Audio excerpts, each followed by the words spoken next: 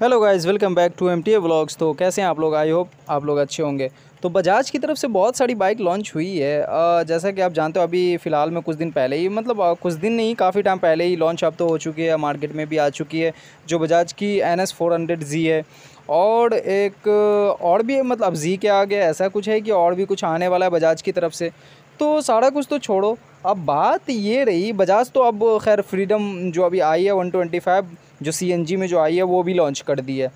तो बजाज इतना कुछ कर रहा है जो इसकी मोस्ट सेलिंग बाइक है जो मोस्ट डिमांडिंग बाइक है मोस्ट डिमांडेड बोल लो या आर वन फाइव किलर बोल लो पावरफुल बोल लो मतलब डेविल बोल लो जो कुछ भी बोल लो। बोल लो। और आप जानते हैं कि 200 सीसी में काफ़ी पावरफुल मोटरसाइकिल थी आर एस टू हंड्रेड जो बजाज की काफ़ी डिमांडिंग मोटरसाइकिल है।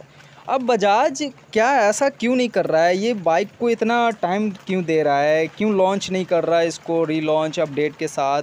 क्या पता क्या बात है नहीं है। कुछ इसकी ऑफिशियल जो है ना मतलब कोई ख़बर नहीं आई है।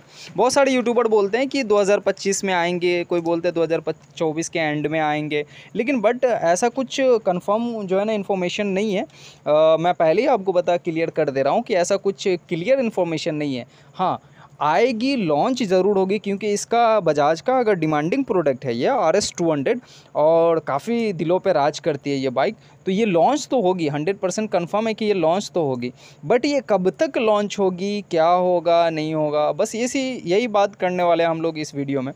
तो बात यह है सीधी सीधी बात कि अभी तक बजाज की तरफ़ से जो राजीव बजाज हैं, उन्होंने अभी तक कुछ ऐसा क्लियर नहीं किया है जो ये लॉन्च कब तक होगी, इसकी क्या प्राइसिंग होगी क्या क्या अपडेट होंगे।